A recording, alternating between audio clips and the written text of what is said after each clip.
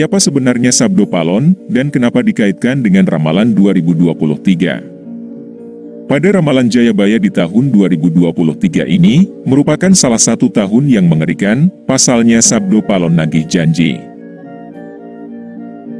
Sabdo Palon adalah tokoh legendaris, yang juga pandita dan penasihat Raja Majapahit terakhir, yaitu Prabu Brawijaya V.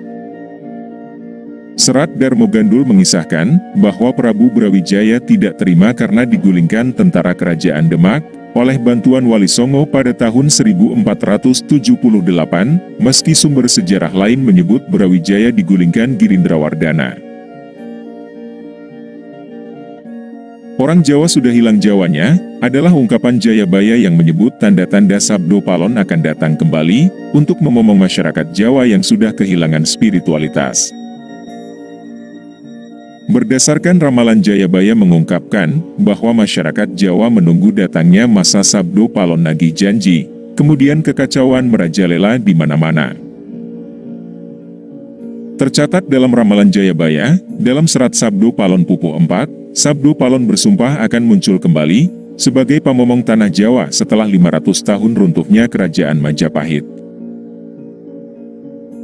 Apabila dihitung 500 tahun, dari kerajaan Majapahit runtuh pada tahun 1478, maka ramalan datangnya masa Sabdo Palon Nagi Janji, jatuh pada tahun 2020 hingga 2022. Berdasarkan pupuh 11 dalam serat Sabdo Palon disebutkan, Pagebluk ingkang pinangkung, lalarang ngombro-ngombro, injeng sugeng sore paloyo.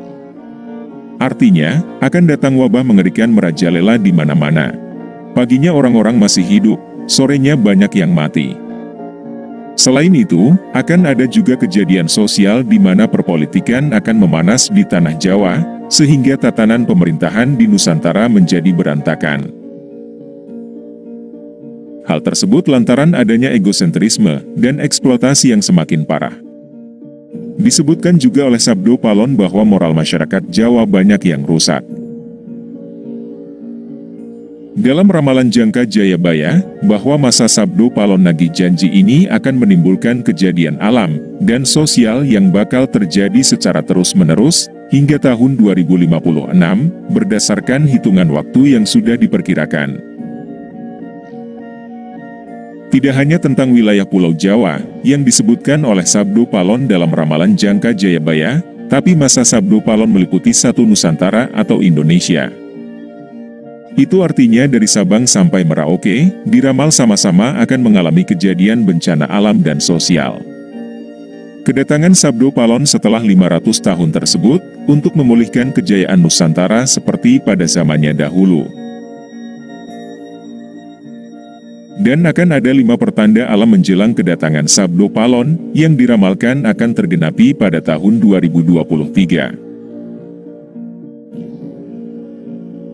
Ada satu erupsi yang disebutkan dalam kitab Babat Majapahit, yang menjadi tanda alam saat kedatangan Sabdo Palon. Yaitu jika lahar yang keluar mengalir ke arah barat daya, dan mengeluarkan bau tidak sedap. Dalam berbagai versi ramalan 2023, banyak disebut bahwa akan terjadi bencana alam. Bencana alam tersebut berkaitan dengan batu dan juga api.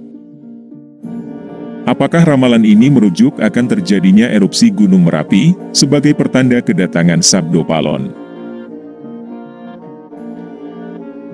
Sabdo Palon menyebutkan bahwa suatu hari di tanah Jawa ketika orang yang sedang menyeberang sungai dan sudah sampai di tengah maka sungainya akan meluap dan banyak menelan korban jiwa.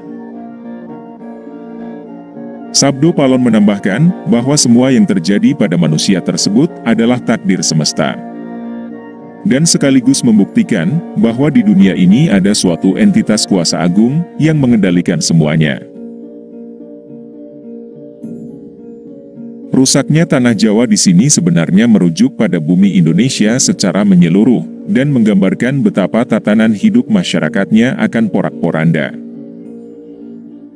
Disebutkan oleh Sabdo Palon menjelang kedatangannya, bahwa tanah Jawa sudah tak lagi menghasilkan. Kerusakan yang timbul karena ulah manusia sendiri, yang sudah rusak moralnya, dan memiliki hawa nafsu yang tidak terpuaskan. Dikatakan oleh Sabdo Palon pada saat itu manusia akan bingung mencari makan, mereka tidak akan lagi mempedulikan peraturan, karena tidak kuasa menahan perut yang tidak terisi makanan.